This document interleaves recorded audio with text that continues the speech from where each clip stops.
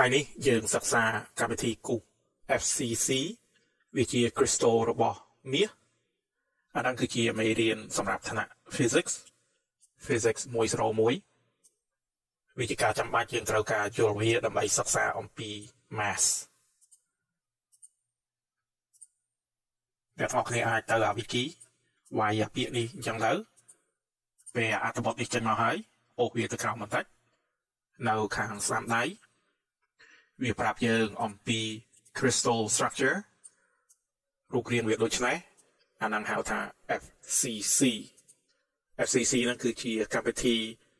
Atom វាដងរៀបដើម្បីវាផលិតមាសហើយអ្នកទាំងគ្នាក៏ដឹងស្រាប់ដែរមាសគឺមានទម្ងន់ផ្សេងពីសម្លៃមាសមានទម្ងន់ផ្សេងពីស្ពាន់ឬក៏សម្រាប់ឬក៏ដែកផ្សេងផ្សេងដូច្នេះអាលក្ខណៈដែលវាមានទម្ងន់ខុសគ្នាហ្នឹង គឺអាមួយនេះឯងដែលដើមហែកណា crystal structure ហ្នឹងអាហ្នឹងវាជាការចាំបាច់យើងត្រូវការឲ្យយល់វាច្បាស់លាស់ដើម្បីយើងសិក្សា mass ហើយយងអសាយោសូមស្វាគមន៍ទស្សនិកជនទាំងអស់ខ្ញុំជាសុខាផ្សាយចេញពីរដ្ឋធានី Phoenix Arizona នៃសហរដ្ឋអាមេរិកថ្ងៃនេះគឺជាថ្ងៃអាទិត្យ2រោចខែអាសត់ឆ្នាំជូត ពុទ្ធសករាជ2564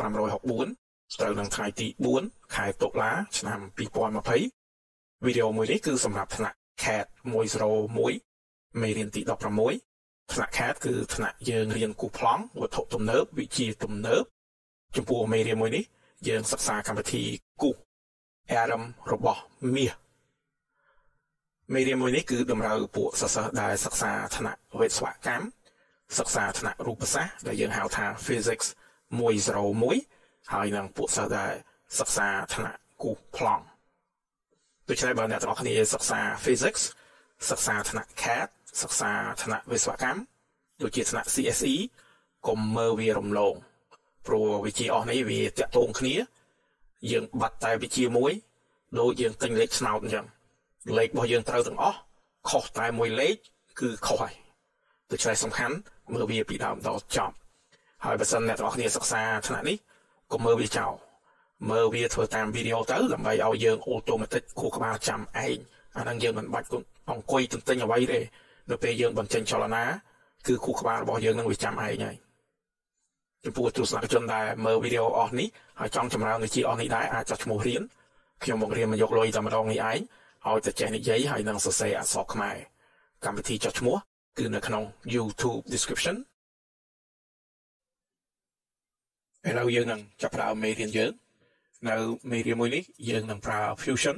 360ដោយអ្នកទាំងអស់គ្នាឃើញនៅលើកញ្ចក់ហ្នឹងអាលេខរបស់វានៅថ្ងៃខែឆ្នាំថតវីដេអូនេះគឺជា version 2ពង0ពង9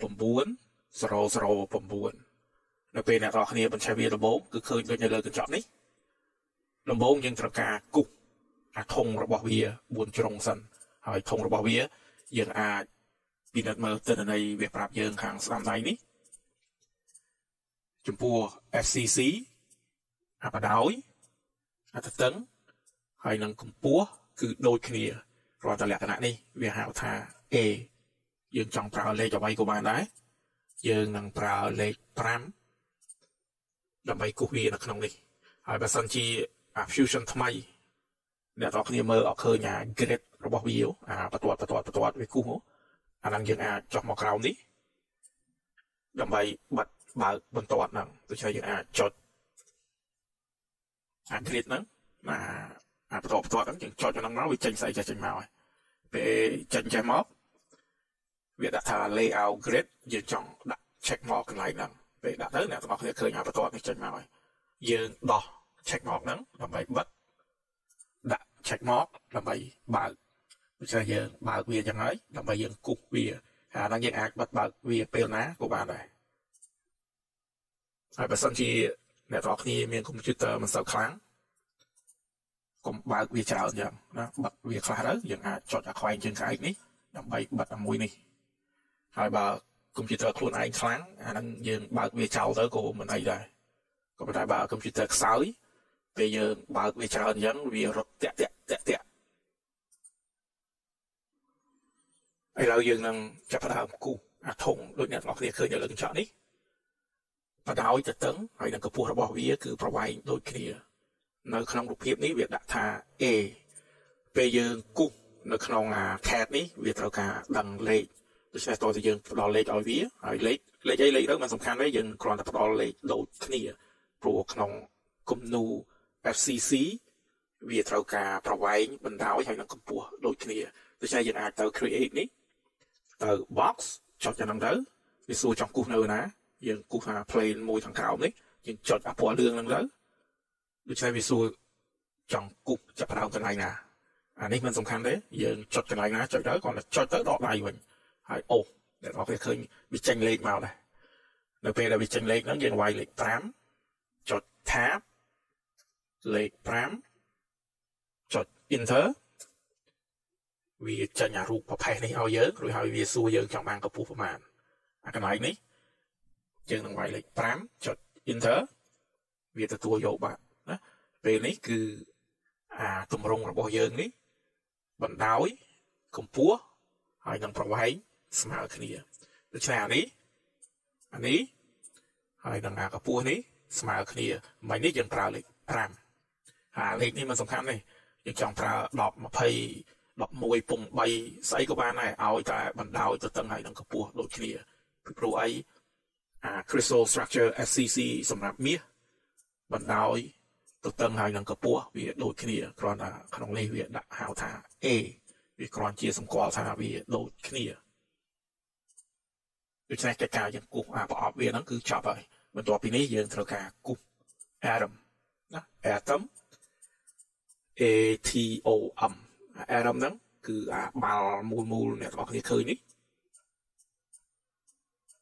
ដូច្នេះវានៅគ្រប់កាច់ជ្រុងទាំងអស់ទាំងអស់វាមាន8កាច់ជ្រុងហើយវានៅចំអាមុខរបស់វានេះអាមុខខាងនេះអាមុខរៀងប្រផេះខាងក្រោយ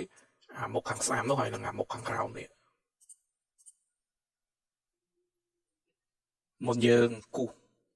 អាអារម្មណ៍របស់យើងហ្នឹងអាបាល់របស់យើងហ្នឹងយើងត្រូវការដឹងទំហំ ទំហំបាល់របស់យើងទំហំប៉ុណ្ណាកាលដែលយើងគូសដែលគ្រូគូសឲ្យមើលនៅអាមេរៀន physics មេរៀនទី1អំពី math យើងគូសអាបាល់នឹងស្មាននៅមេរៀនមួយនេះយើងអត់ស្មានទេយើងប្រើលេខពិតប្រាកដគ្រូបកក្រោយអាប់អាមេរៀនមួយនេះពីព្រោះអីវាចំណុចសំខាន់យើងត្រូវការយល់វាច្បាស់លាស់អំពីអារម្មណ៍របស់វាហ្នឹង ដើម្បីអ្នកទាំងអស់គ្នាយល់អំពី mass បើខ្លួនឯងពងវែងអាគ្រឹះរបស់វាហ្នឹងទេដូចយើងអត់ចេះមេលេខអញ្ចឹងវាពិបាកទៅមុខយើងអត់ចេះមេលេខយើងអត់ចេះគុណលេខបើយើងមិនចេះគុណលេខយើងមិនអាចចេះចែកលេខបានទេដូច្នេះហើយបានជាយើងចំណាយពេលបកក្រោយបន្តិចមកសិក្សាចំណុចនេះឲ្យច្បាស់លាស់ដូច្នេះយើងត្រូវការគូសបាល់របស់យើងហ្នឹងអារម្មណ៍របស់យើងហ្នឹងយើងគ្រាន់តែដឹងថាវានៅគ្រប់ កាច់ជ្រុងទាំងអស់ទាំង8កាច់ជ្រុងទាំង6មុខក៏ប៉ុន្តែយើងមិនដឹងទំហំវាប៉ុណ្ណាអាហ្នឹងវាចំណុចសំខាន់យើងអត់ដឹងទំហំវាយើងគ្រាន់តែដឹងកន្លែងវាដើម្បីយើងដឹងទំហំវាតើតើយើងកណនីអូខេយើងបបល់នេះបន្តិចដើម្បីយើងកណនីអានេះយើងដាក់វាចំចុះណាអ្នកទាំងអស់គ្នាអាធុងយើងវារៀងចេះហ៎យើងគ្រាន់តែដាក់វាចំដើម្បីវាដូចអ្នកទាំងអស់គ្នាឃើញ បន្ទាប់មកយើងនឹងត្រូវការដឹងអាប្រវែងនេះមកប្រវែងនេះការចាប់ផ្ដើមយើងគូសអានេះដំបូងយើងបានវាយលេខ5បញ្ចូលមែនទេអាមួយហ្នឹងយើងអត់ស្មានទេយើងដឹងច្បាស់ព្រោះយើងអ្នកវាយលេខខ្លួនឯងបញ្ចូលអាកម្ពស់របស់វានេះ5អាហ្នឹងក៏យើងវាយលេខបញ្ចូលដែរយើងអត់ស្មានទេអ្វីយើងត្រូវការដឹងគឺពីកាច់ជ្រុងនេះមកកាច់ជ្រុងនេះ តើប្រវែងវាប៉ុណ្ណាយើងអត់ដឹងក៏ប៉ុន្តែអ្វីដែលយើងដឹងគឺអាប្រវែងខាងស្ដាំនេះអាកម្ពស់របស់វានេះគឺវាដូចអាលេខខាងឆ្វេងនេះដែរមែនទេដូច្នេះយើងអាចទៅសេលេខ5កន្លែងនេះនៅពេលយើងដឹងអាកម្ពស់ហើយនឹងអាខាងក្រោមបណ្ដោយនេះហើយយើងអាចដឹងកែងវាបានហើយកែងរបស់វាយើងអាចនិយាយថា វា45 degree ឬក៏បើយើងសរសេរជា radian វាផាយចែកឲ្យ4អានេះក៏មេរៀនចាស់របស់យើងដែរថ្នាក់ math 101អានេះដូចជាមេរៀនទី13ដូច្នេះបាទអ្នកទាំងអស់គ្នាមិនទាន់បានមើលអាមេរៀនអំពី radian នេះទេបកក្រោយមើលអាមេរៀន math 101មេរៀនទី13 យើងសិក្សាអំពីនេះហើយនឹងមើលមេរៀនដូចជាមេរៀនទី11ដែលយើងសិក្សាអំពី polar polar coordinate ណាដូច្នេះបើអ្នកនរគ្នាមិនទាន់បានមើលអាម៉ាស់101បកក្រោយមើលអា13 11ទៅវាតាក់ទងអានេះដែរអូខេយើងលុបអានេះសិនចាំយើងទៅមុខបន្តិចទៀតហើយដើម្បីយើងងាយស្រួលនិយាយគ្នា អាសនាសញ្ញាសំណួរនេះយើងហៅវាថាបចុះមែនទេបគឺសម្គាល់វាជាប្រវែងយើងចង់ដឹងអាប្រវែងហ្នឹងពីអាត្រឹមនេះមកត្រឹមនេះប្រវែងវាប៉ុណ្ណាកែងយើងបានដឹងច្បាស់ទៅហើយ45ដោយសារអាលេខនេះ5អាលេខនេះ5ដូច្នេះកែងវាពិតជា45បើយើងសរសេរជា radian វាផាយចែកឲ្យ4ឥឡូវយើងនឹងកណនីរកបអា ប្រវែងពណ៌លឿងនេះដើម្បីយើងកណនីរកបយើងអាចប្រើមេរៀន polar អានឹងថ្នាក់ playlist math 104 101អាហ្នឹងដែលយើងសិក្សាពីគណិតសាស្ត្រអ្នកទាំងអស់គ្នាអាចទៅអា playlist របស់វាហ្នឹងហើយរកមើលអាមួយវាដាក់ថា polar ចុះក្រោមក្រោមក្រោមក្រោមក្រោមក្រោមនេះមួយនេះអ្នកទាំងអស់គ្នាឃើញណា ដូច្នេះមេរៀនទី10យើងសិក្សាអំពី polar ហើយនឹង radian radian គឺជាមេរៀនអឺទី12អ្នកទាំងអស់គ្នាឃើញមេរៀនទី12ឥឡូវដល់មកយើងកណនីដើម្បីរករកអាប្រវែងពណ៌លឿងនេះ ដែលយើងផ្ដោតឈ្មោះវាថាបដូច្នេះយើងអាចសរសេររូបមន្ត អាបនេះយើងអាចប្រើ cosine ក៏បាន sin ក៏បាន អា cosine និង sin ហ្នឹងគឺនៅថ្នាក់ math 101មេរៀនទី10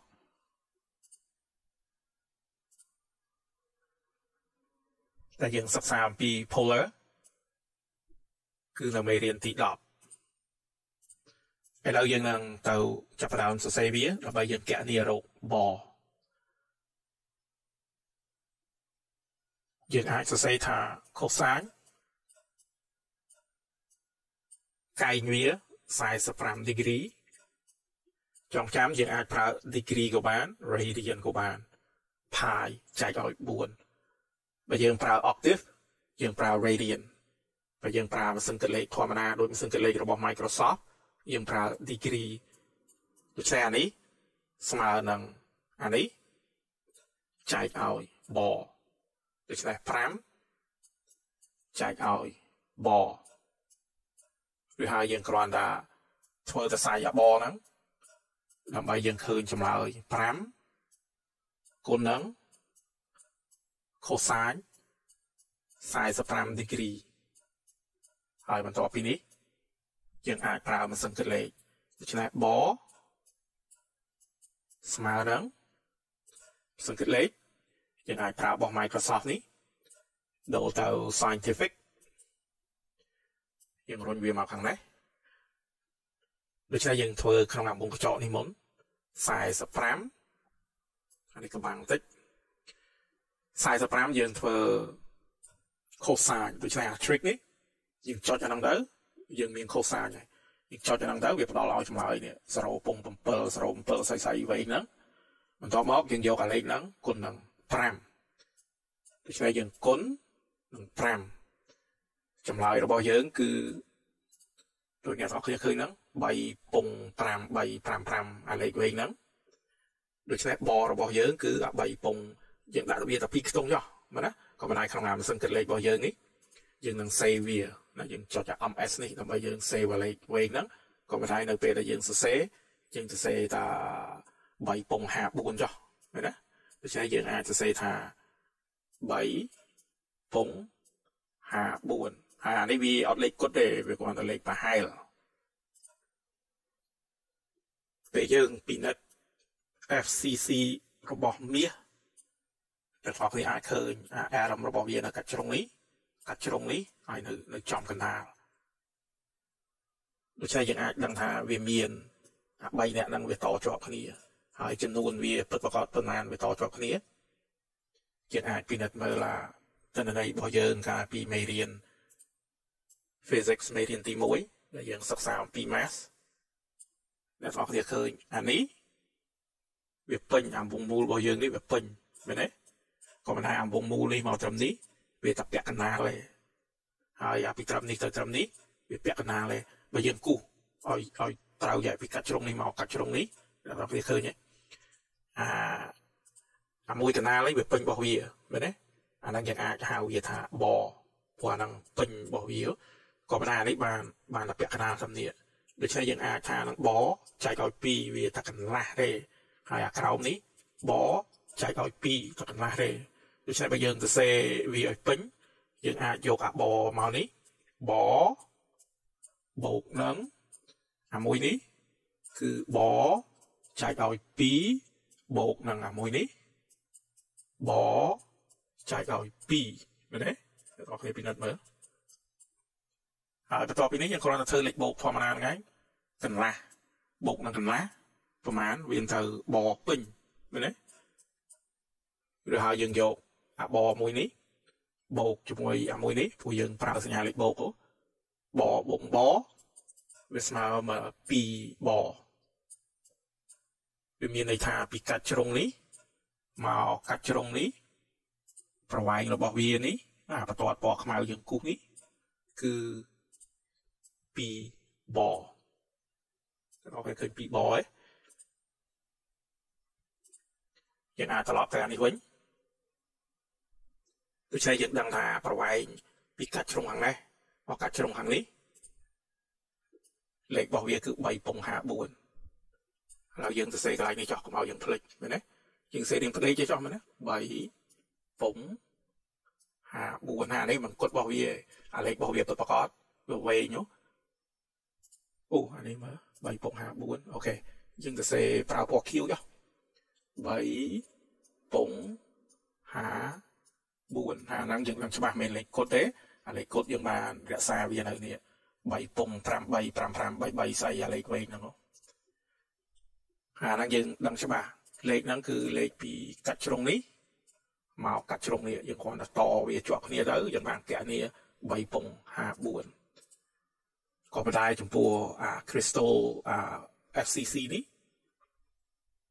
វាកន្លះកន្លែងនេះវាមួយពេញកន្លែងនេះណាយើងសេលេខ1ទៅចុះអានេះវាកន្លះកន្លែងនេះចេះកន្លះបូកនឹងកន្លះវា1 1បូក1វា2 ដូច្នេះយើងចែកឲ្យអា2ហ្នឹងអាប្រវែងបរបស់យើងហ្នឹងយើងចែកឲ្យ2ដូច្នេះយើងយកបនេះយើងបដូរពណ៌វាចុះឃើញទេដាក់ពណ៌ស្វាយចុះយើងបចែកឲ្យ2ណា2ហ្នឹងគឺអា arrow មកហើយអាបហ្នឹងគឺអានេះមែនទេយើងគ្រាន់តែយកអាហ្នឹងមកហ្នឹង ចែកឲ្យ2យើងអាចប្រើម៉ាស៊ីនគិតលេខបានទេអាហ្នឹងណាអាលេខវែងហ្នឹងចែកឲ្យ2ចម្លើយគឺ1ពង7 6 7 7ស្អីលេខវែងឆ្ងាយហ្នឹងណាយើងនឹងរក្សាអាលេខហ្នឹងទុកហើយយើងនឹង copy វា control C ដើម្បី copy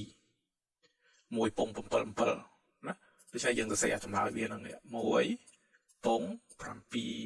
7ក៏មិនដែរអាហ្នឹងវាមិន គត់ទេវាប្រហាក់ប្រហែលទេព្រោះអាលេខរបស់វាពិតប្រាកដវាវែងនេះក៏មិនដែរដល់ពេលដែលយើងសរសេរវាក្នុងនេះយើងសរសេរអញ្ចឹងណាយើងមិនចង់សរសេរវាវែងវាវែងឆ្ងាយពេកដូចជាចម្លើយ1ពង7 7នេះយើងអត់ស្មានទេយើងដឹងច្បាស់100%អាលេខហ្នឹងយើងនឹងត្រឡប់ទៅអា fusion នេះវិញដើម្បីយើងគូសអាអារម្មណ៍របស់យើងអាមូលមូលរបស់យើងនោះដូច្នេះយើងអាចទៅ create ទៅអាមួយវាដាក់ថា sphere ចុចហ្នឹងទៅវាសួរថាចង់គូសនៅណាយើងចុចឲ្យពណ៌លឿងនេះមកឬហើយវាសួរយើងចង់គូនៅឯណាអានេះយើងចុចព្រាវព្រាវអត់សំខាន់ទេយើងចុចទៅនេះគ្រាន់តែចុចចឹងហើយវាសួរចង់បានទៅហុំប៉ុណ្ណាអ្នកនរគ្នាចាំមកយើងកណនីមួយពង7 7ឯងដោយសារយើង copy copy ពីអាសង្កេតលេខរួចហើយយើងអាចចុច control V វាបញ្ចូលលេខឲ្យកន្លែងនេះណាហើយយើងចុច enter ទៅ អ្នកនរគ្នាឃើញវាទទួលយកឯងដូច្នេះអាបាល់របស់យើងនេះអាមូលរបស់យើងនេះអាប្រវែងរបស់វានេះគឺ1ពង7 7ដោយសារយើងប្រើកម្មវិធី copy ហើយនឹង paste យើងប្រើលេខនេះពិតប្រាកដតែម្ដងណា1ពង7 6 2 2 6 6 9 52 96ឲ្យលេខវែងឆ្ងាយហ្នឹងគឺអាបាល់របស់យើងនេះហើយបើអ្នកទាំងអស់គ្នាចង់ដឹងវាពិតប្រាកដយើងអាចចុចអឺស្ដាំយើងអាចចុច edit feature ឬក៏យើងទៅ property ក៏បានដែរបើទៅ property អឺអូអានេះអត់បង្ហាញមើលនេះទៅ edit feature អូនោះវាបង្ហាញអ្នកទាំងគេឃើញលេខទេនេះ1ពង7 6 8អាលេខហ្នឹងដែលយើងវាយទៅចូលកន្លែងនេះឬក៏វាអត់ឲ្យកន្លែងនេះអាលេខវែងឆ្ងាយហ្នឹងអ្នកនរឃើញឃើញវារក្សាអាលេខពិតប្រាកដដល់យើងអាលេខដែលយើងអឺ copy paste ពីនេះហើយអ្នកនរគ្នាផ្ទៀងផ្ទៀងវាទៅឃើញនេះ ណា1ពង76.7 1ពង76.7 6695 6695 2966 2966ណាដូច្នេះលេខដែលយើង copy ពីអមសង្កត់លេខនេះយើង copy អាហ្នឹងមកដាក់អានេះអាហ្នឹងគឺវាគូសឲ្យយើងម៉ាច់តែម្ដងណាថ្មីបើវាបង្ហាញតែ3ខ្ទង់ក្នុងអា fusion ឃើញវាបង្ហាញតែ3ខ្ទង់នេះក៏មិនដែរនៅក្នុងរបស់វានោះ នៅក្នុងអាកុំព្យូទ័រនោះវារក្សាលេខពិតប្រាកដអាលេខវែងរបស់យើងនេះហើយបើយើងបានលេខវែងច្រើនខ្ទង់អញ្ចឹងយើងដឹងថាអាបាល់របស់យើងហ្នឹងណា error របស់យើងហ្នឹងពិតជាទៀងត្រង់ខ្លាំងហើយព្រោះបើយើងប្រើលេខតែមួយខ្ទង់ពីរខ្ទង់ហើយវាវាកាត់ច្រើនពេកអូខេអានេះអាកម្មវិធីដែលយើងបញ្ជាក់ហើយនឹងអត់អាបាល់របស់យើងអា error របស់យើងហ្នឹងហើយដោយសារអឺ យើងសិក្សាអំពីមាសយើងនឹងដាក់វាជាមាសដូច្នេះយើងអាចទៅ appearance ហើយមាសនេះដាក់លើអាបាល់របស់យើងនេះទៅណាយើងមានអារម្មណ៍មាសហើយបន្ទាប់ពីហ្នឹងយើងគ្រាន់តែយកអាមាសរបស់យើងហ្នឹងទៅដាក់កាច់ជ្រុងមាសរបស់យើងហ្នឹងគ្រាន់អូសវាមកដាក់កាច់ជ្រុងនេះដាក់គ្រប់កាច់ជ្រុងអាធុងរបស់យើងនេះទាំងអស់វាមាន8ជ្រុងហ៎ហើយដែលយើងដឹង8 ពីព្រោះអីទិន្នន័យវាបង្ហាញយើងអញ្ចឹងគ្រប់ជ្រុងវាត្រូវមានអារម្មណ៍មាសគ្រប់មុខទាំង6មុខវាត្រូវការមានអារម្មណ៍មាសណាដូច្នេះយើងធ្វើតាមតាទិន្នន័យវាប្រាប់ហ្នឹងឥឡូវយើងនឹងយកអាអារម្មណ៍របស់យើងនេះមកដាក់កាត់ជ្រុងនេះណាអារម្មណ៍ទៅស្អីដូច្នេះយើងអាចទៅ modify ហើយទៅ move ឬក៏ផ្លូវកាត់របស់វាអក្សរ M វាដាក់នៅខាងស្នាមដៃហ្នឹង move ឬក៏ copy ផ្លូវកាត់យើងអាចចុចនៅលើ keyboard អក្សរ M នៅលើដំបូងនេះយើងនឹងប្រើ control ចុចក៏ប៉ុន្តែលើក្រោយទៀតយើងនឹងប្រើផ្លូវកាត់អក្សរ M វិញយើងចុចមួយទៅមកវាសួរយើងកន្លែងនេះតើយើងចង់អូសអ្វីយើងចង់អូស body ជួនកាលទៀតនៅពេលយើងប្រើអញ្ចឹងវាដាក់ faces យើងក៏ចង់បាន face ឯងយើងចង់បាន B O D I E S ហ្នឹង body ពេលយើងចុចហ្នឹងទៅវាបង្ហាញដូចអ្នកទាំងអស់គ្នាឃើញហ្នឹងហើយបន្ទាប់មកយើងចុចអាខាងក្រោមនេះ selection នេះយើងមកចុចអាហ្នឹងដូច្នេះចុចចុចជាមួយហ្នឹងឬហើយមកចុចអាបាល់មាសនេះឬហើយយើងមកចុចអាខាងឆ្វេងនេះម្ដងទៀតឥឡូវយើងមកអូសចេះចោះឲ្យវាជិតគ្នា វាសួរថា origin point យើងចុចទៅហ្នឹងមកអាហ្នឹងវាសួរយើង យើងចង់អូសពី origin មួយណាយើងចង់បានអា move type នេះយើងចង់បានអាមួយនេះ point to point ឬហើយយើងចុច origin point យើងមករកអាកណ្ដាលបាល់របស់យើងហ្នឹងតែយើងគ្រាន់តែចុចវាព្រាវព្រាវទៅបើហ្នឹងទៅវាគឺវាដាក់មួយ selected ទេបានន័យថាយើងជ្រើសរើសមួយកន្លែងហើយ ព្រោះយើងមានបាល់តែមួយហ្នឹងនោះ target point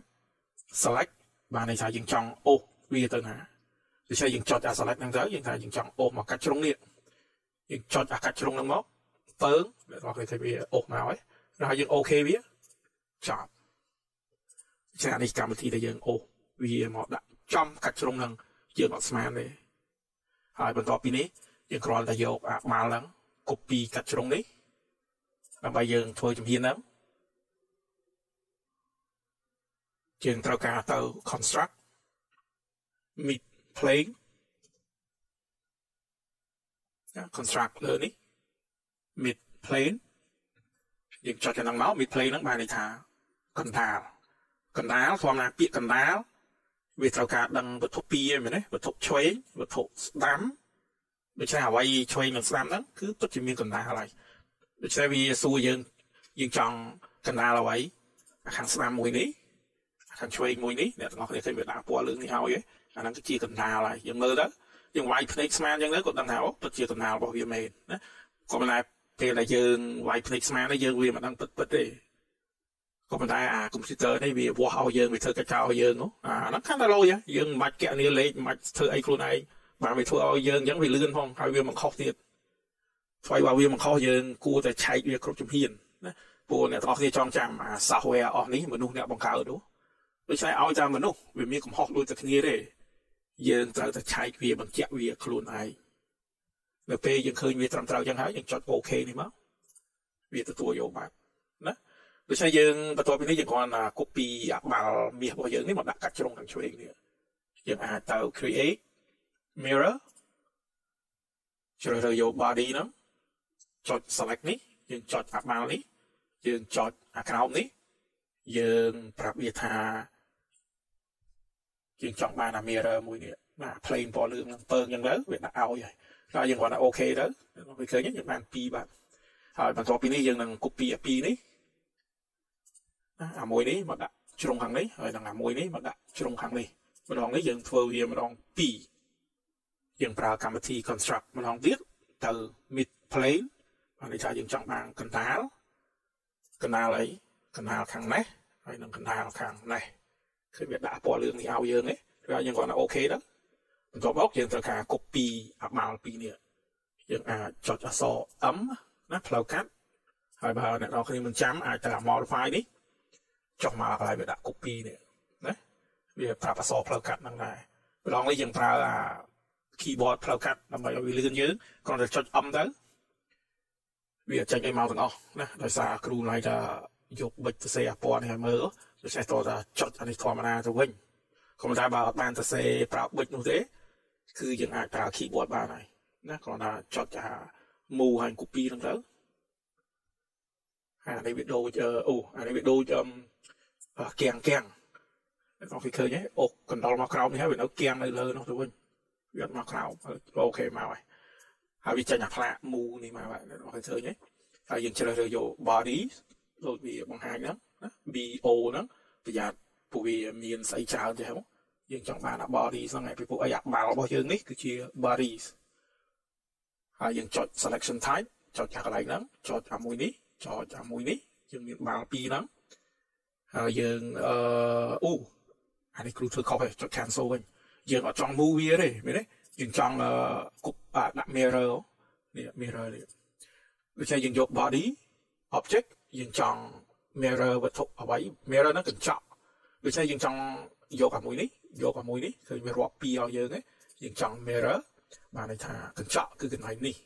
អា plane ពណ៌លឿងនេះវាដាក់បាល់នោះអ្នកនរគ្នាអាចឃើញមកដែរដូច្នេះយើងអូខេវាមកយើងបាន4បាត់ម្ដងនេះយើងនឹងយកអា4ខាងក្រោមហ្នឹងមកដាក់ជ្រុងខាងលើនេះហើយបើអា grid បន្ទាត់របស់យើងនេះវាកំបាំងអញ្ចឹងយើងអាចបិទវាវិញយើងមកក្រោមនេះយើងទៅអា ណាអាចុចអាក្រោមបន្ទាត់ហ្នឹងឡើងទៅលើមកអស់វាដាក់ layout grid ចុចហ្នឹងទៅវាបិទអា grid ហ្នឹងហើយហើយបើសិនជាយើងត្រូវការយើងមកកន្លែងដដែលហ្នឹងដាក់ check មកវាវិញទៅវាដាក់ឲ្យវិញហើយឥឡូវយើងទៅ construct ទៅ mid plane ម្ដងទៀតយកអាខាងនេះយកអាខាងនេះវាដាក់ពណ៌លឿងថ្មីនេះឲ្យយើងហើយឃើញទេ rồi យើងអូខេវាទៅយើងនឹងទៅ create ទៅ mirror rồi ចុចបាល់នេះបាល់នេះបាល់នេះបាល់នេះយើងមានបាល់4យើងជ្រើសរើសអ្នកនរអាចឃើញនេះហើយចង់ចាំយើងចង់បាន body ហ្នឹង B O D R E S ហ្នឹង parent type objects យើងបានជ្រើសរើស4រួចហើយវារៀងពណ៌ខៀវងងឹតចេះបន្ទាប់មកយើងជ្រើសរើស mirror plane យើងចុចហ្នឹងមកវាសួរយើងយើងចង់ mirror plane មួយណាយើងថាចង់បានអាលឿងហ្នឹងពើងអ្នកនរគ្នាឃើញវា copy ឲ្យទាំង4ណាយើងអូខេមកយើងបាន4បាទ ដូច្នេះ total ទាំងអស់8បាល់របស់យើងនេះអ្នកនរគ្នាមើលមើល8ត្រឹមត្រូវរបស់វាអីមែនទេអឺអ្វីដែលយើងខ្វះខាតគឺអាបាល់នៅកណ្ដាលមែនទេនៅចំមុខវាព្រោះ SCC វាមានន័យថាយើងមានបាល់នៅចំកណ្ដាលមុខផងណាហើយទិន្នន័យរបស់វាគ្រូវាបង្ហាញថាយើងអត់ស្មានដែរឃើញវានៅចំមុខឯងហើយនៅនៅគ្រប់ជ្រុងទាំងអស់នៅគ្រប់មុខទាំងអស់ណា យើងខ្វះបាល់នៅចំកណ្ដាលហ្នឹងនៅពេលដែលយើងដាក់បាល់អាអารមគ្រប់ជ្រុងយ៉ាងហើយគ្រូទើបចាប់អារម្មណ៍អ្វីមួយលេខរបស់យើងកណនីខុសហើយមែនទេពីព្រោះអីបើយើងយកអាបាល់នេះមកដាក់ចំកណ្ដាលនេះវាចន្លោះច្រើនពេកណាឥឡូវអឺគ្រូធ្វើទាំងខុសយ៉ាងចោះ ដើម្បីអ្នកទាំងអស់គ្នាឃើញជំហានជំហានហើយនឹងបើសិនជាខ្លួនឯងច្រឡំឬក៏ខុសអីយ៉ាងដឹងកម្មវិធីកែវាណាអូខេឥឡូវយើងយើងដឹងថាទំហំបាល់របស់យើងនេះខុសហើយហើយខុសហ្នឹងគឺខុសតាំងពីអាជំហានអឺដែលយើងកណនីនេះយើងកណនីត្រៃកោណរបស់វានេះគ្រូគ្រូទើបចាប់អារម្មណ៍អឺអាតសេនេះខាងលើនេះត្រូវហើយក៏ប៉ុន្តែ អាបន្ទាត់ទី2នេះសរសេរខុសណាឥឡូវគ្រូសរសេរអាត្រូវឲ្យហើយសិនណាអឺសរសេរពណ៌ឲ្យយើងពណ៌ពណ៌ស្វាយហ្នឹងណាអូខេអឺបន្ទាប់ពីអាបន្ទាត់ខាងលើនេះណាខ45ស្មើនឹង5ចែកឲ្យបវាគួរតែបស្មើនឹង5ចែកឲ្យ cos 45 degree ហើយបើយើងប្រើ octave យើងគួរតែប្រើ radian នេះទៅវិញបន្ទាប់ពីនេះយើងគ្រាន់តែប្រើម៉ាស៊ីនគិតលេខគណនាលេខអូខេយើងប្រើម៉ាស៊ីនគិតលេខនេះម្ដងទៀតយើងគ្រាន់តែយកអឺអាលេខ5នេះណាលេខ5ចែកឲ្យ5ចែកឲ្យ cosine 45 degree ដូចជាយើងយក45 degree cosine ចម្លើយ គឺ7ពង07ដូចអ្នកទាំងអស់គ្នាឃើញហ្នឹងហើយយើងសេវា707យើងសរសេរវាកន្លែងនេះហើយអានេះវាមិនស្មើទេវាប្រហាក់បែបឡើង7 07មែនទេអូខេមើលមើលនេះក៏មិនថាលេខវាវែងឆ្ងាយហ្នឹងហ៎អញ្ចឹងហើយបានយើងប្រើសញ្ញានេះវាគ្រាន់ប្រហាក់ប្រហែលឡើងរេវាមិនគុតទេបើគុតយើងប្រើសញ្ញាចាបើវាស្មើយើងប្រើសញ្ញាចង្អេចចង្អុកមួយទៀតឬក៏សញ្ញាចា ហើយយើងដឹងច្បាស់ថាចំពោះ FCC អាមួយនេះពេញរបស់វាមួយពេញអាមួយនេះវាកន្លះរេអាមួយកាច់ជ្រុងនេះវាកន្លះរេដូច្នេះយើងបូកអា3ហ្នឹងទៅកន្លះបូកនឹងកន្លះវា1 1បូកនឹងអាមួយនេះវា2ណាដូច្នេះយើងអាចយកអាលេខរបស់យើងនេះចែកឲ្យ2អាលេខរបស់យើងនេះចែកឲ្យ2 វា3ពង53ស្អីអស់ហ្នឹងយើង save វាក្នុង memory ហើយយើងនឹងយក control ដាក់លើអំសង្កេតលេខចុច select all ឬហើយចុច control C control C ដើម្បីយើង copy ហ្នឹងយើងមកអា fusion របស់យើងនេះអាបាល់របស់យើងនេះយើងចុចបាល់មួយណាក៏បានដែរណាចុចជ្រើសរើសចឹងហើយចុចស្ដាំឬហើយទៅ edit features ពេលយើងចុច edit features ហ្នឹង វាចេញស្អីដូចអ្នកទាំងអស់គ្នាឃើញនៅលើកញ្ចក់នេះយើងចង់បានអាកតាដែលវាដាក់ថា sphere primitive លេខ1បានន័យថាយើងចង់បកក្រោយ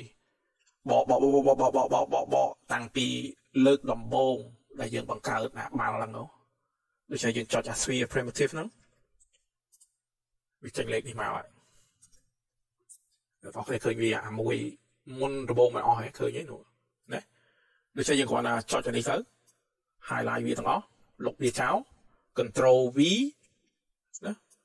តែតោះគេគឺអាលេខថ្មីរបស់យើង3ពង54ណាដែលយើង copy ពីអំសង្កេតលេខនេះនេះណាតែតោះគ្នាផ្ទៀងមើលទៅអាលេខនេះហើយនឹងអាលេខនេះ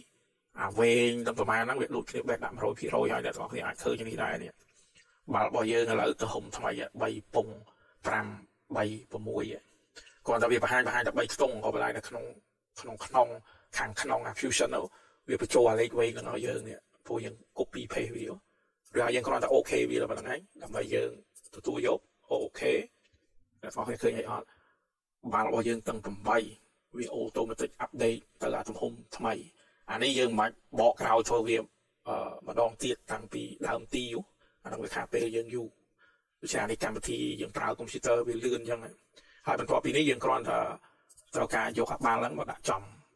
ចំនេះណាហើយយើងដឹងថាទំហំវាទំហំដូចគ្នាព្រោះអាអានេះគឺជា ARM ណាអានេះជា ARM របស់មាសទំហំប៉ុណ្្នឹងឯងហើយដើម្បីកុំឲ្យយើងច្រឡំបាទអាបន្ទាត់នេះគ្រូអត់លុបចោលគាត់ណាគូវាចេះ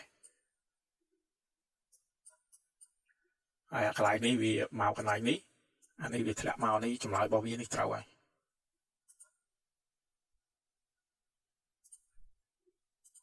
ឥឡូវយើងត្រូវការបន្ថែម ARM ចំកណ្ដាលមុខពីព្រោះអីតនន័យរបស់វាវាបង្ហាញយើងត្រូវមានគ្រប់6មុខរបស់វាឃើញនេះ ARM របស់វាដូច្នេះយើងនឹងអឺត្រូវការទៅឲ្យវាចំពីមុខគ្រូបបលនេះចេះអូខេអានេះចំពីមុខរបស់វាណាចំពីមុខអឺយើងត្រូវការគូបន្ទាត់ យើងទៅ create ទៅ create sketch ឬហើយវាសួរយើងចង់គូសនៅណាយើងថាគូសនៅអាមុខនេះចុចយើងចង់គូសបន្ទាត់ចុចយើងចង់គូសឲ្យវាចំកណ្ដាលអេចំចំកាច់ជ្រុងនេះចុចមកកាច់ជ្រុងនេះពេលវារកឃើញកាច់ជ្រុងអ្នកទាំងអស់គ្នាឃើញអាប្រអប់4ជ្រុងហ្នឹងហើយវាបង្ហាញលេខនោះនោះនោះបង្ហាញវាបង្កើតលេខវាបង្ហាញ 5ពង00នោះណានេះប្រវត្តិចេះទៅប៉ុន្តែអ្នកទាំងអស់គ្នាឃើញអាប្រអប់4ជ្រុងនេះពេលវារកឃើញជ្រុងវាបញ្ចេញប្រាប់យើងដែរដូច្នេះយើងគាត់ថាចុចអាហ្នឹងចឹងទៅណាបន្ទាប់មកយើងត្រូវការគូសវាចំកណ្ដាលដូច្នេះយើងអាចចុចនេះចុចនេះអូជប់ដកនេះចេញសិនយើងត្រូវការបន្ទាត់មួយទៀតអូអ្នកទាំងអស់គ្នាឃើញយើងយកអាកណ្ដុររបស់យើងនេះ ឃើញអាបន្ទាត់នេះហេវាចេញខ្វែងជើងកាយនឹងអានេះទូចពេកហើយប្រហែលនេះខ្វែងជើងកាយខ្វែងជើងកាយនៅពេលយើងអូសវាមកក្រោមក្រោមក្រោមក្រោមក្រោមក្រោមក្រោមអូសឲ្យចំបន្ទាត់ហ្នឹងអ្នកទាំងអស់គ្នាឃើញវាចេញត្រីកោណដែរនៅពេលដែលវារកឃើញចំកណ្ដាលហើយវាចេញអាត្រីកោណហ្នឹងមកហើយអ្នកទាំងអស់គ្នាឃើញទេឥឡូវម្ដងទៀតយើងយកអាកណ្ដុររបស់យើងដាក់ពីលើនេះបងគាត់អូអូអូអូអូពេលវាចំកណ្ដាលវាចាញ់អាស្រែកោណយើងចុចទៅហើយអូសវាទៅស្ដាំពេលវារកឃើញអាបន្ទាត់ខាងនេះ ចំកណ្ដាលអញ្ចឹងយើងចុចមកណាអ្នកបងគេឃើញវាបង្ហាញអាកូនត្រីកោណនេះបាទន័យថាសញ្ញាថាបន្ទាត់របស់យើងហ្នឹងគឺចំកណ្ដាលរបស់អាបន្ទាត់ប្រឈមមួយហ្នឹង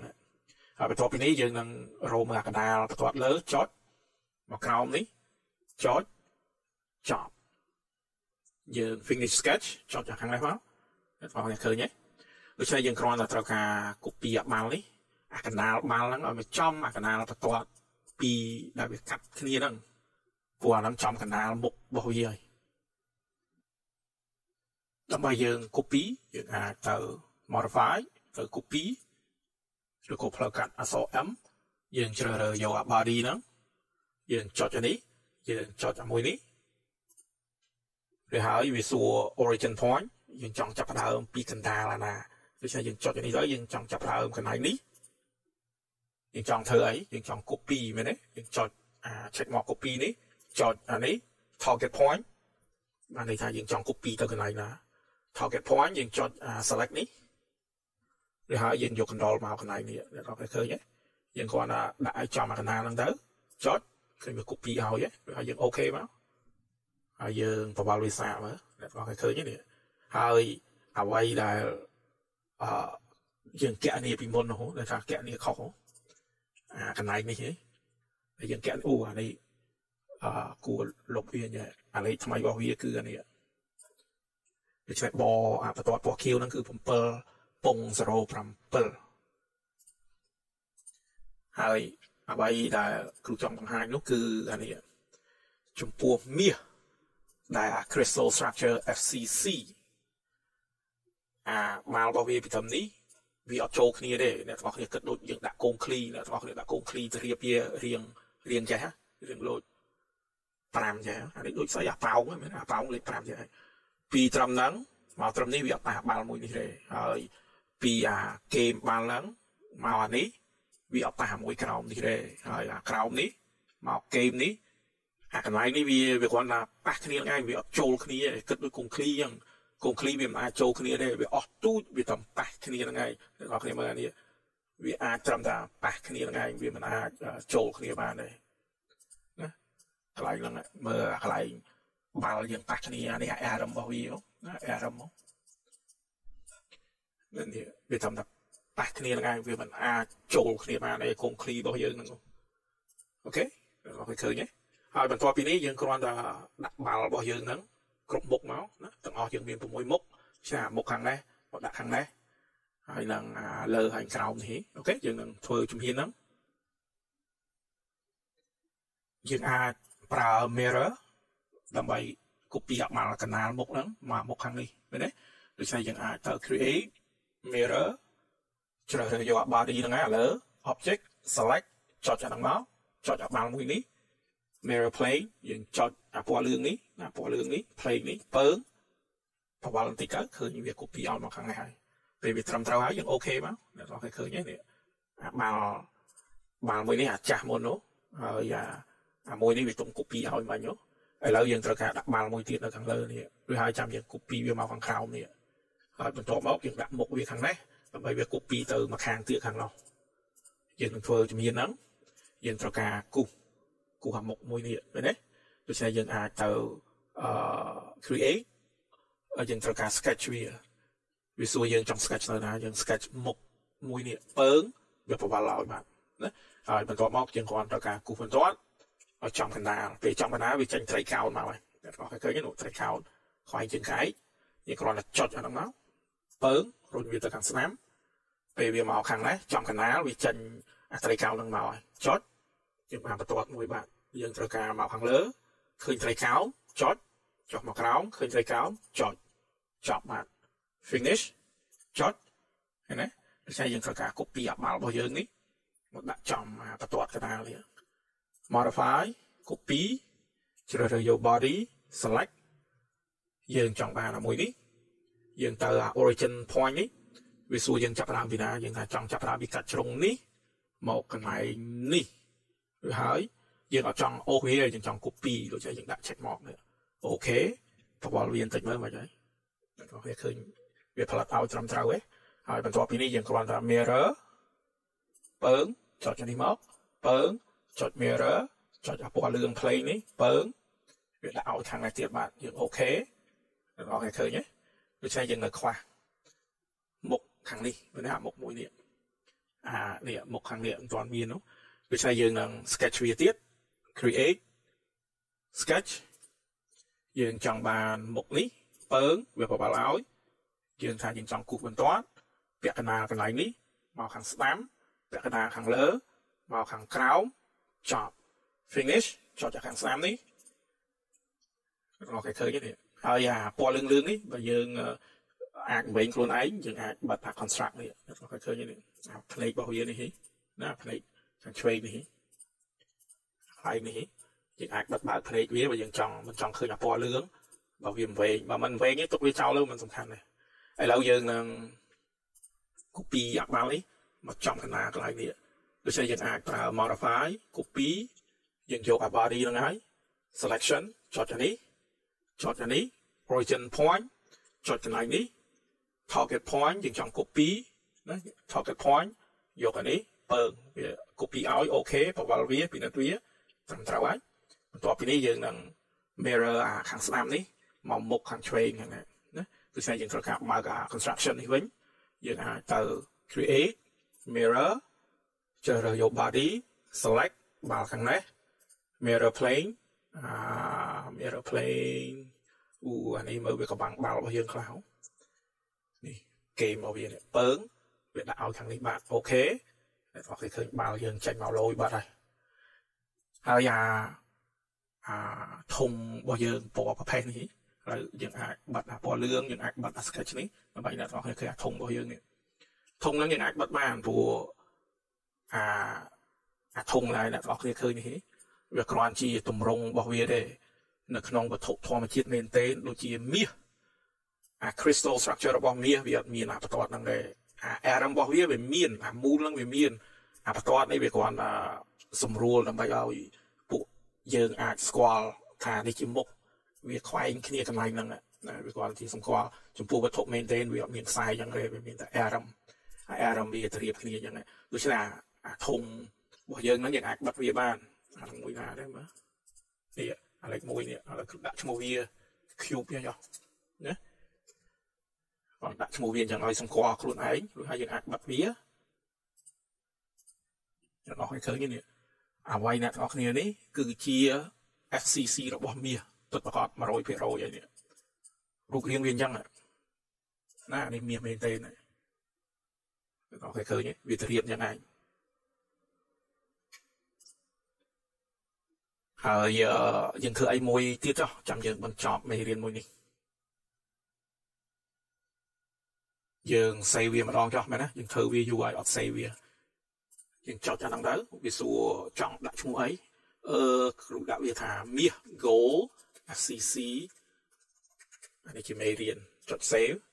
ចាំវាមកទៅវា save ឲ្យហើយបន្ទាប់ពីនេះយើងនឹងអឺទៅ render សាកហើយនេះពួកសិស្សសិក្សាថ្នាក់ CAD អឺចេះកម្មវិធីនេះអត់ហើយគ្រប់គ្រាន់ធ្វើឲ្យឲ្យមើលទៅចុះមុនយើងបែកគ្នា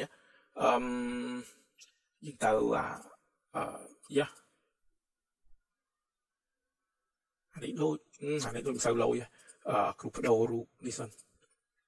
អាជំនាញអស់នេះយើងសិក្សាថ្នាក់ CAD ពីមុនរួចអស់ហើយគ្រូបដូរពន្លឺភ្លើងវាទៅមើល rim light soft light warm light ចេះចោះអានេះអត់អីទេហើយ setting ពណ៌នេះអាប្រភេទពីក្រោយដូចវាទៅនឹងខ្មៅទៅចោះមែនណាអូអានេះដូចអាយើងចង់បានប្រភេទប្រភេទយ៉ាងចេះចោះ អានេះមើលឃើញច្បាស់ល្អ reflection អូខេអត់ចង់បាន reflection នៃ flat ground អូខេប៉ុន្តែចោតអីទេចាំមើលយើង render វាសាកមើលរូបរាងវាមិនទេអូខេមកនេះតិច render វាមើលអ្វីអ្នកទាំងអស់គ្នាឃើញនេះគឺជាមាស100%នេះព្រោះអានេះខ្ញុំដាក់គុណភាពវាទាបពេករុញវាមកអឺខ្ញុំនេះចុះអានេះវា render បន្តទៀតហើយ ប៉ិនអាបាល់មូលមូលអ្នកទាំងអស់គ្នាឃើញហ្នឹងគឺជា crystal structure របស់មាសពិតប្រាកដ100%នេះរូបរាងវាអញ្ចឹងណាដូច្នេះវាវាដូចកងឃ្លីអ្នកទាំងអស់គ្នាគិតដូចកងឃ្លីប៉ុន្តែកងឃ្លីហ្នឹងវាដូចដាច់ឆក់វាវាឆក់គ្នាវាឆក់វាឆក់ហើយវាទៅរៀបអាតម្រងហ្នឹងដែលភ្នែកយើងមើលឃើញជាមាសវាវាអញ្ចឹងឯងដូចអ្នកទាំងអស់គ្នាឃើញហ្នឹងឯងអូខេបញ្ឈប់ render វា ប៉ុន្តែបងប្អូនឃើញមាសរបស់យើងវាដូចមែនទេណាមែនទេឥឡូវអឺគ្រូបវលអានេះសាចឹងមើលគឺបវលវារៀងពីលើចឹងឲ្យវា render ម្ដងទៀតតែអ្នកទាំងអស់គ្នាឃើញលយមាសរបស់យើងពិតប្រកបមែនទេណានេះអូខេអានេះវាទា render ប្រហែល20 30វិនាទីអីដែរគ្រូបញ្ឈប់វាត្រឹមនេះចុះ ហើយត្រឡប់ទៅអា design របស់យើងនេះវិញណានេះនេះមាសរបស់យើងអា RM របស់វាទៅរៀបអញ្ចឹងចំពោះមាស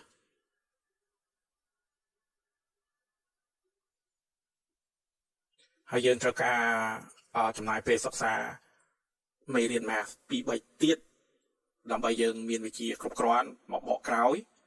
បន្តការសិក្សាពី math ថែមទៀតព្រោះអានឹងវាតាក់ទងវត្ថុមែនទេនៅក្នុងពិភពរបស់យើងហ្នឹង មិនថាវត្ថុដែលយើងប៉ះបានឬប៉ះមិនបានទេដូចជាខ្យល់អុកស៊ីហ្សែនដែលយើងមិនអាចប៉ះបាននោះយើងដឹងថាវាមានហើយគាត់តែយើងប៉ះមិនបានពួកអាធនធានធម្មជាតិបង្កើតអស់ហ្នឹងគឺវាមានទម្រង់កម្មវិធីវារៀប ARM អញ្ចឹងណា ARM ATOM ARM ហ្នឹងគឺអាមូលមូលដូចកុងឃ្លីនេះវាកម្មវិធីវាទៅរៀបចំពោះខ្យល់អុកស៊ីហ្សែនវាទៅរៀបចេះចំពោះមាសវាទៅរៀបចោះ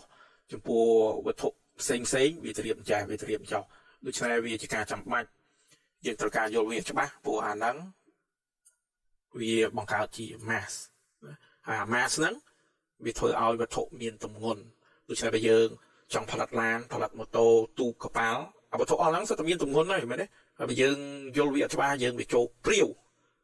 នៅពេលយើងចាប់ផ្ដើមសិក្សាពីគ្រឹះវាដូច្នេះយើងអត់ព្រាវទេអានេះដូចយើងសិក្សាលេខបូកលេខដកលេខគុណលេខចែកចឹង យើងចេះមេលេខច្បាស់លាស់ទៅហើយអានេះគុណរបស់យើងក៏យើងគុណត្រូវទៅទៀតអាសំណួរមួយអ្នកទាំងអស់គ្នាត្រូវឆ្ងល់គឺអាបើពួកវិទ្យាសាស្ត្រយល់វាច្បាស់លាស់អំពីមាសអញ្ចឹងទៅហើយអញ្ចឹងមិនបង្កើតមាសមកតែម្ដងត្រូវអ្នកទាំងអស់គ្នាដឹងមិនទេពួកវិទ្យាសាស្ត្រអាចបង្កើតមាសបានមែនអឺបើអ្នកទាំងអស់គ្នាចង់ដឹងថែមទៀតទៅឲ្យវិគីហ្នឹងវាយអាពាក្យហ្នឹងវាយកន្លែងហ្នឹងអញ្ចឹងទៅចុច enter ទៅអានេះវាអត្ថបទនេះចេញមកហើយ ហើយយើងអូសទៅក្រោមបន្តិចអូសទៅក្រោមចាំមើលមើលមិនដំណាទេហើយចំពោះមាសហ្នឹងអ្នកទាំងអស់គ្នាដឹងមិនទេមិនតែចំនួនយើងនេះទេដែលចង់ផលិតមាសចង់ច្នៃមាសគឺពីចំនួនមុនក៏អឺក៏ចង់ច្នៃដែរអឺនេះអាចំពោះមួយទៀតអ្នកទាំងអស់គ្នាអាចទៅអាចំពោះមួយពងពង2ពង1ហ្នឹងគ្រាន់តែចុចហ្នឹងទៅវាអូសទៅក្រោមហើយដល់ពេលអូសទៅក្រោមចេះអា អាវគ្គកន្លែងនេះគឺកម្មវិធីបញ្យលយើងអាចផលិតមាសខ្លួនឯងណាហើយគ្រូអានអាកន្លែងនេះបន្តិចឲ្យស្ដាប់ចុះណាចំពោះពួកសិស្សដែលអត់ចេះអានអង់គ្លេសវាឲ្យចាំយើងបញ្ចប់មេរៀនយើងពាក្យនេះវាមានន័យថាឆ្នៃប្រឌិតហើយអាឃ្លានេះគេនិយាយថា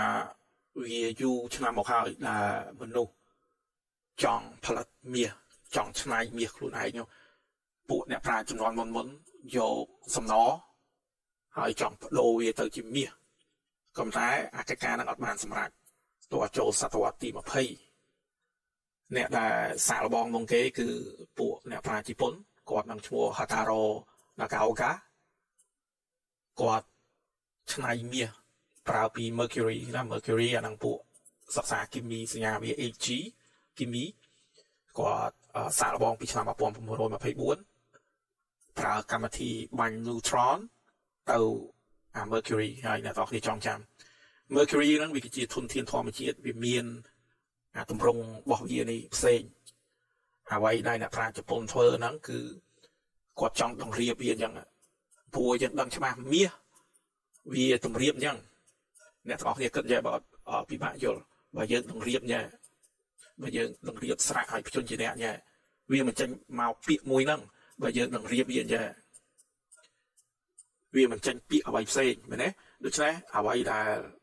អ្នកប្រាជ្ញជប៉ុននឹងចង់ធ្វើគឺចាគាត់យក mercury ណាអ្នកទាំងគេគិតចាដែលស្រាក់ដែលមិនស្រាក់អាកម្មវិធីវានឹងរៀបដូច្នេះគាត់ចង់ផលិតជាមាសដើម្បីផលិតជាមាសអាស្រៈ A នោះមានរួចទៅហើយ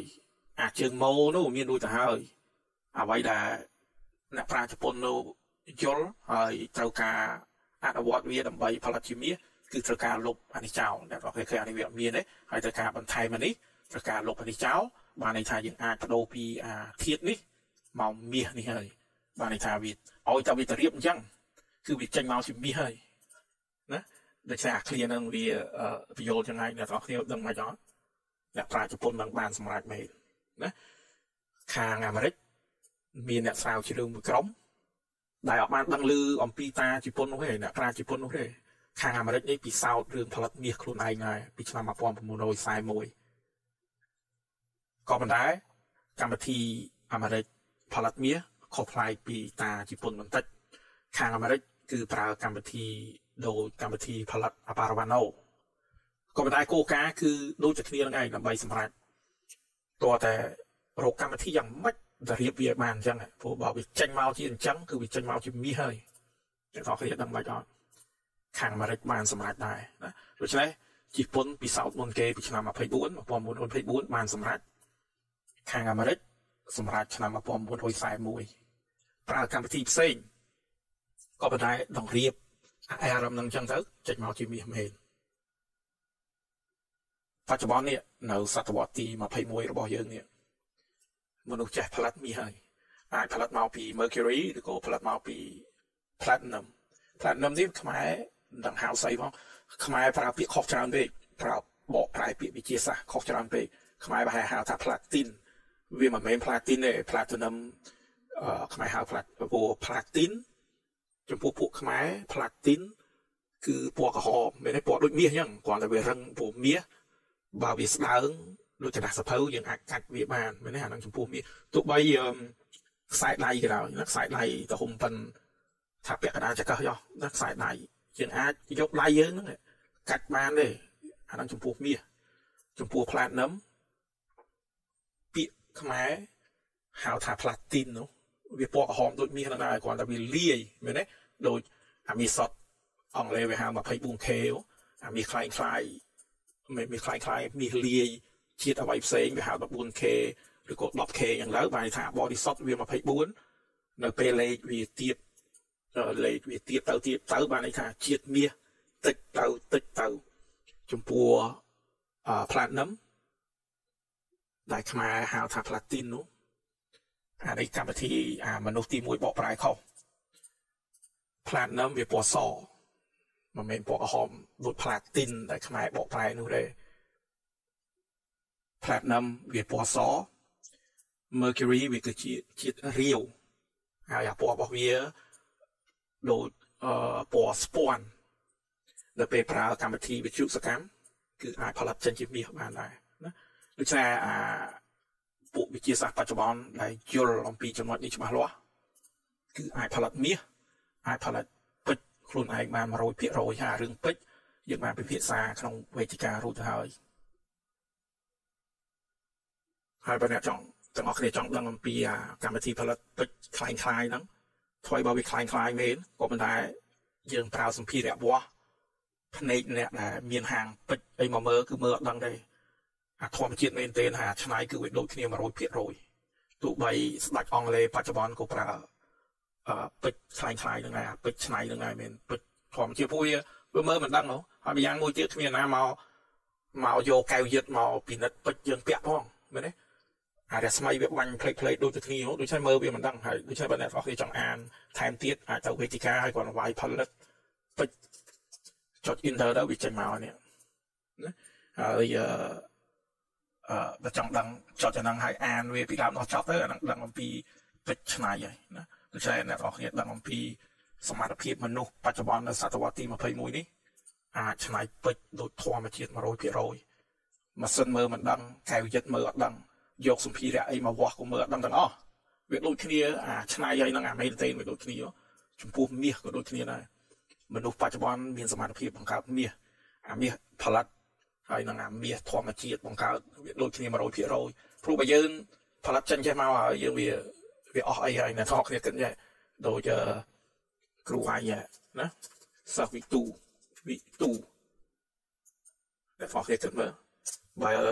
យើងដឹងថានៅពេលយើងផ្គុំស្រាក់ហើយនឹងភ្ជន់ជាអ្នកដូចឆ្នេះវាចេញមកពាកអញ្ចឹងហើយចុះបើសាសូណាប្រើសរសេរយ៉ាងណាណាឧទាហរណ៍សាសូណានៅស្វាយរៀងសាសូណាសរសេរយ៉ាងណាអ្នកនរគ្នាគិតមើលឥឡូវអឺសិស្សបញ្ញានៅភ្នំពេញសរសេរយ៉ាងណា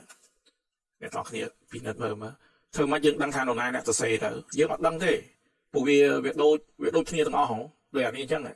យើងដឹងកម្មវិធីទៅរៀបវាហើយយើងទៅសេសមុនដាក់អាស្រាក់នេះដាក់អានេះដាក់ជើងនេះអញ្ចឹងអញ្ចឹងទៅវាចេញមកពាក្យហ្នឹងហើយដូចអានេះអញ្ចឹងយើងទៅរៀបអាហ្នឹងអញ្ចឹងពេលយើងទៅរៀបអញ្ចឹងអញ្ចឹងទៅវាចេញមកមាសបាត់ហើយហើយអាមាសបរិសុទ្ធញ៉ែអាមាសខ្លាំងខ្លាយញ៉ែហើយអាប្រទេសមួយទៀតផលិតមាសញ៉ែអ្នកនរគ្នាធ្វើធ្វើមកយើងដឹងទៅពូបើវាដូចគ្នា100%យើងមើលវាអត់ដឹងអូខេអឺយើងបញ្ចប់មេរៀនយើង ត្រឹមនឹងថ្ងៃនេះ យើងត្រូវការសិក្សា math ប្រហែល2 3មេរៀនទៀតដើម្បីយើងមានវិជ្ជាគ្រប់គ្រាន់មកបន្តសិក្សា math នេះថែមទៀតព្រោះបើមិនចឹងទេបើគ្រូបន្តមេរៀននេះទៅមុខទៀតអ្នកទាំងគ្នាអាចមកវិញណាដើម្បីកុំឲ្យវែងយើងត្រូវការឡើងកម្មជាដើមម្ដងមួយកម្មអញ្ចឹងហើយចំពោះទស្សនិកជនដែលមើលមេរៀនអស់នេះចង់ចម្រើនវិជ្ជាអស់នេះដែរអាចចុះឈ្មោះរៀនខ្ញុំបង្រៀនមកយកលុយតែម្ដងនេះឯង ឲ្យតែចេះនិយាយហើយនឹងសរសេរអក្សរខ្មែរកម្មវិធីចុះឈ្មោះគឺនៅក្នុង YouTube description ថ្ងៃនេះគឺជាថ្ងៃអាទិត្យទី4ខែតុលាឆ្នាំ2020ខ្ញុំជាសុខាផ្សាយចេញពីរដ្ឋធានី Phoenix Arizona នៃសហរដ្ឋអាមេរិកអរុនសួស្តីសាយវ៉ាន់សួស្តីរីត្រីសួស្តីសូមជម្រាបលា